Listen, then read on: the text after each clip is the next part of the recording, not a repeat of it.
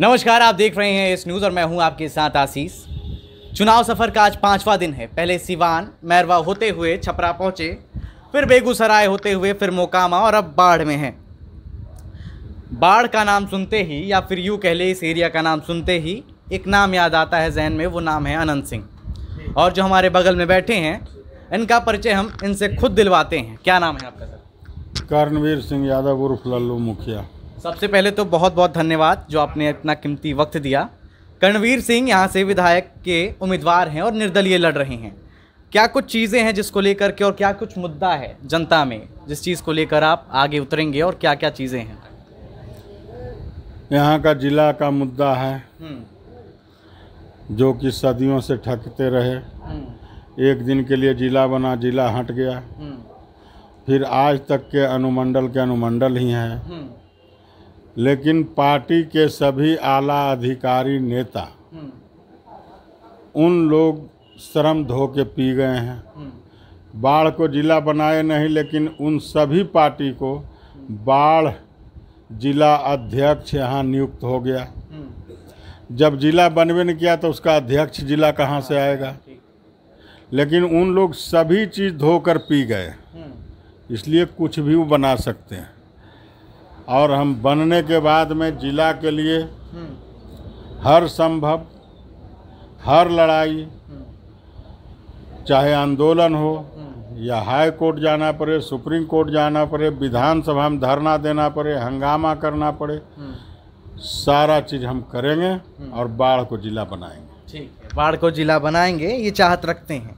हम्म, देखिए जिला के साथ साथ बेरोजगारी हम्म, चरण सीमा पर है। हम्म, उसमें भी जो भी मेरे बेरोजगार भाई बंधु हैं हम्म, उन लोग को भी लघु उद्योग हो कुटीर उद्योग हो या कोई भी धंधा करना चाहेंगे उसमें हम उन लोग को अपना उद्योग भवन या किसी भवन से फंड दिलवा कर। उन लोग को हम भी कारगर कराएँगे। कारगर कराएँगे। उसके बाद शिक्षा के मामला में तो इतना बदतर हो गया है जिसका कोई सीमा नहीं है। हम्म, अगर कोई पचास रुपया भी कमाता है महीना के हम्म, तो भी अपना बच्चा को सरकारी स्कूल में नहीं भेजेगा। हम्म, वह पंद्रह रुपया भी लेगा तो उसको प्राइवेट में भेजेगा। अच्छा। आज सभी सरकारी स्कूल का एकदम बदतर स्थिति है। लेकिन प्राइवेट स्कूल का बोलबाला है। और उसी तरह से हम्म, चिकित्सा। हम्म, चिकित्सा में भी बाढ़ अनुमंडलीय अस्पताल है। अच्छा। यहाँ आज जब राम नरेश बाबू डीएस थे हम्म, उस समय सभी प्रकार का ऑपरेशन बाढ़ में होता था। डॉक्टर बीपी सिंह थे। उन लोगों ने भी ऑपरेशन यहाँ करते थे हम्म, चूँकि इन लोग सर्जन थे। हम्म, लेकिन इन लोग के रिटायर होने के बीपी सिंह साहब या राम नरेश बाबू इन लोग जब रिटायर कर गए और रमेश बाबू अरुण बाबू इन सब जब रिटायर हो गए डोली रानी लेडीज़ की डॉक्टर थी हम्म, इन लोग रिटायर होने के बाद चिकित्सा में उस जिस दिन से ये लोग बाढ़ हॉस्पिटल से निकले हैं। उस दिन से एक दिन भी ओटी रूम में आज 20 बरस 25 बरस में एक दिन भी ओटी रूम में कोई कैंची नहीं चलाया होगा। ये एक हाइड्रोसील हो हरुनिया हो बावासीर हो अपेंडिस हो इस तरह का भी ऑपरेशन एक भी नहीं हुआ है। इससे भी इसको भी जाने दीजिए। अगर हाथ टूट गया है तो भी आप पटना जाइएगा रेफर होगा। आपको माथा फूट गया तो भी आप रेफर होइएगा। तो ये रेफरल हॉस्पिटल बन गया है। किसी भी चीज़ में रेफर करने के सिवा इसके पास कुछ नहीं है। और यहाँ पर इन लोगों का है कि कुछ लोग अपने जगह पर 200-400 देकर दूसरे से भी सर्विस करवा रहे हैं। अच्छा। इस तरह का स्थिति यहाँ का बना हुआ है। और फैमिली प्लानिंग वाला जो भी या इशू प्रसव है या कुछ भी होना रहता है तो बाढ़ हॉस्पिटल एजेंट का काम करता है।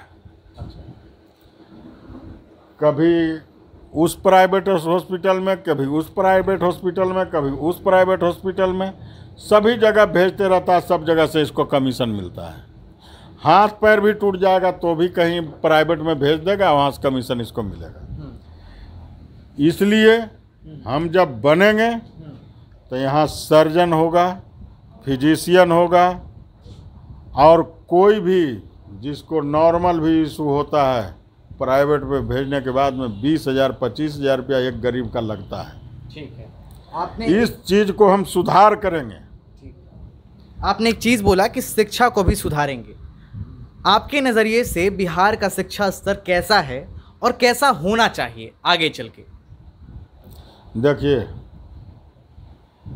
आज पंचानवे के और अंठानवे और निन्यानवे के बाद कोई भी सरकारी स्कूल में पढ़ना नहीं चाहता है। चूँकि न तो वहाँ मास्टर है ना और कुछ है। और उसके बाद में जब मास्टर भी ऐसा है कि उसको अपने नहीं आता है तो दूसर के की पढ़ावेगा और मास्टर भी है तो जो यहाँ का है। पहले होता था कि एक ब्लॉक से उसी ब्लॉक में कहीं दूसरे जगह स्थानांतर होता था। इन लोग यहाँ से उठा करके भेज देते हैं पटना। अब पटना से उठा के भेज देते हैं बेगूसराय। और उसे स्थिति में उन लोग कोई भी स्कूल में नहीं जाता है। और ख़ास करके उन लोग को जो भी शिक्षक हैं उनका भी बहुत काफ़ी इन लोग से भी डिस्टरबेंस है। अच्छा। उस चीज़ को भी हम सभी मास्टर को बुलाकर जीतने के बाद पहला बार वार्निंग देंगे कि आप लोग संभल जाइए और अपने अपने समय पर स्कूल जाइए। नहीं जाने पर होगा कार्रवाई। अच्छा। उसके बाद में ये जो होड़ चला हुआ है कि कोई टीचर चल जाता है वेतन के लिए तो कोई चल जाता है मीटिंग में तो कोई चल जाता है सर्वे में तो कोई चल जाता है इसमें तो कुल मास्टर भी है तो कुल को तो उठा करके उधरे काम में लगा लेता है। तो मास्टर पढ़ावेगा एगो बच गया मास्टर और नो गो है क्लास तो कैसे कैसे लेगा? सही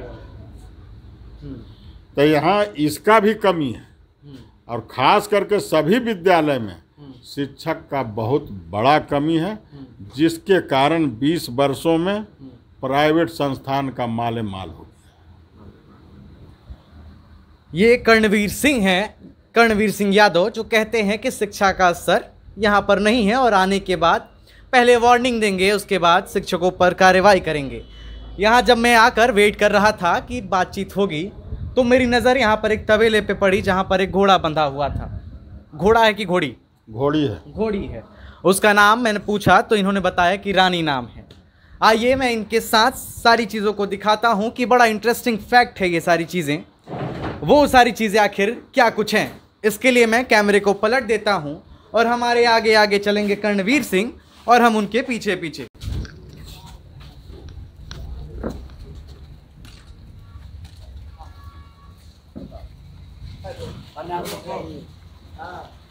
यही वो रानी है। जिसके जिसको आपने संभाला। एक सवाल है आपसे। आपके पिताजी शायद शिक्षक हैं या फिर शिक्षा विभाग में नहीं हाँ। कॉलेज में थे। अच्छा। छोटा कर्मचारी थे। छोटे कर्मचारी थे। आपका ये ख्याल कैसे आया? आपको ख्याल मतलब होता ना कि एक जो पिता करें शिक्षा विभाग में है तो फिर नेतागिरी में आप गए ये सारी चीज़ें? हमको बच्चे से लगाव जानवर से। जानवर से लगाव था। थोड़ा सा और एक कबीला भी है जहाँ का वो खटाल है आपके पास। हम्म। वो कैसा है? जरा वो भी बहुत बढ़िया है। जरा दिखाएँ चलिए। ये इनके समर्थक हैं जो इनके पीछे पीछे चल रहे हैं। ये दर्शाता है और आज जब मैं यहाँ पर आया तो कुछ लोग बता रहे थे कि आज आपका नॉमिनेशन था जिसमें दस हज़ार लोग गए थे। इससे क्या नज़र आता है? जनता में किस तरीके का उत्साह है? जनता का बहुत बड़ा स्नेह और प्यार मेरे साथ है। जी। हम जनता के बल पे इलेक्शन लड़ रहे हैं। जी। ये और हम कैंडिडेट नहीं हैं पूरे बाढ़ के हम्म। सभी मतदाता कैंडिडेट के रूप में काम कर रहे हैं। जी। ये इसमें कितनी भैंस और गाय कुल मिला के कितनी होंगी? भैंस हो जाएगा बारह चौदह को। हाँ। और उसके बाद में गाय है करीब तीस पैंतीस को। चालीस। को चालीस तो गाय। हम्म। मतलब कुल मिला के साठ सत्तर का एक हिसाब है। यही वो खटाल है जो कि कर्णवीर सिंह यादव जी का है। यहाँ पर करीबन चालीस पचास गाय हैं और सत्रह सत्रह अठारह भैंसे हैं। क्यों? सबसे ये कुछ ज़्यादा ही बड़ी लग रही है। ये वो गिरिएगा गिरिएगा है। ये- अच्छा, हाँ। ये जफराबादी गिल नस्ल की भैंस हाँ बताइए। ये जफराबादी गिल नस्ल का भैंस है। अच्छा। ये गुजरात में होता है। ये भैंस इसकी हाँ। खासियत क्या है? इसका खासियत दूध में बहुत इसका ताकतवर है और मोटा दूध होता है। अच्छा। और ज़्यादा दूध करती है। हम्म। हम्म। कितना कितना दाम होगा इसका?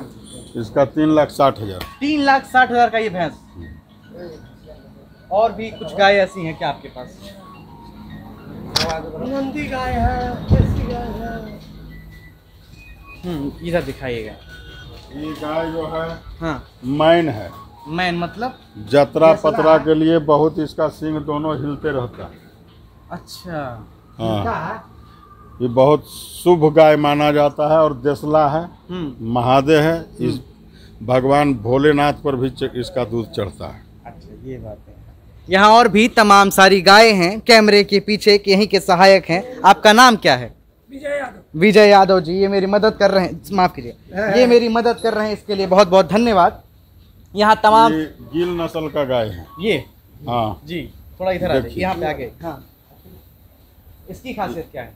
इसका दूध भैंस के तरह गढ़ा होता है। हम्म। और बहुत ताकतवर दूध होता है। हम्म। और इसको कैंसर से लड़ने का भी इसका दूध का क्षमता है। अच्छा इस गिल गाय गिल हम्म। गाय।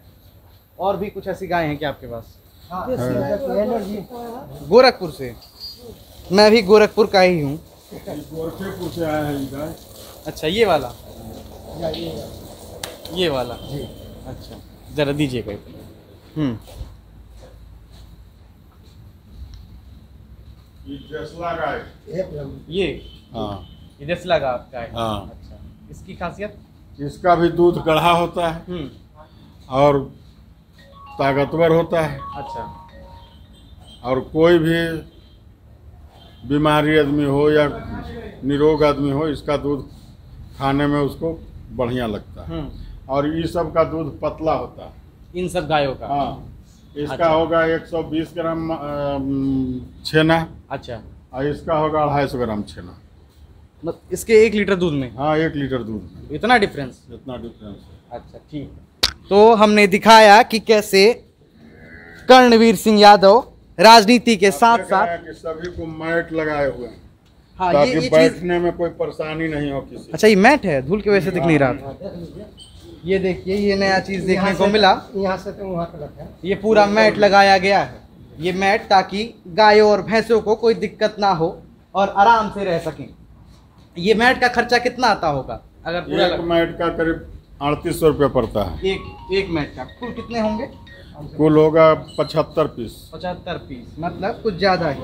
हम्म। तो ये हमारे साथ कर्णवीर सिंह यादव थे जो कि राजनीति के साथ साथ जानवरों में भी दिलचस्पी रखते हैं और उनका ध्यान भी रखते हैं। एक बात होती है कि जानवर पाल लेना लेकिन उनके साथ साथ इसका रख रखाव भी करना ये बड़ी बात होती है। आप सभी भैंसों को देख सकते हैं कि वो एक गद्दे नुमा उस पर बैठी हुई हैं।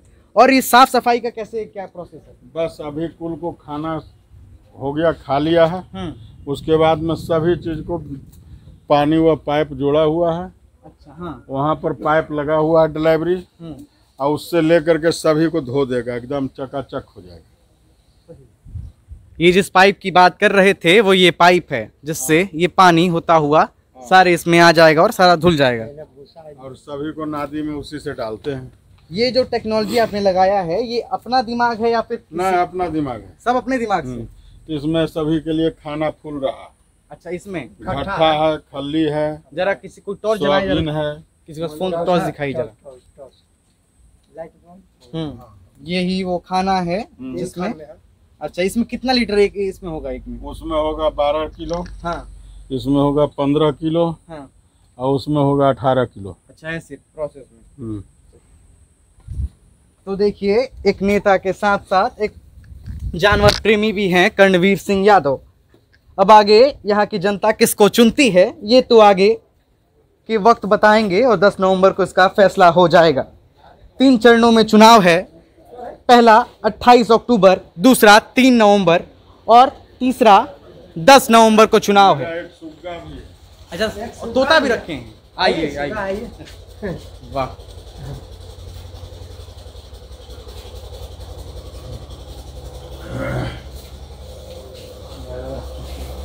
सुगवा कहाँ।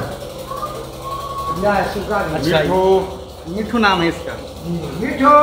ये कितने सालों से है आपके पास?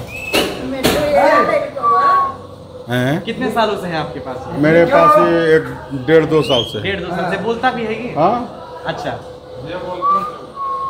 ये मिट्ठू है जिस तरीके से ये मिट्ठू झूल रहा है।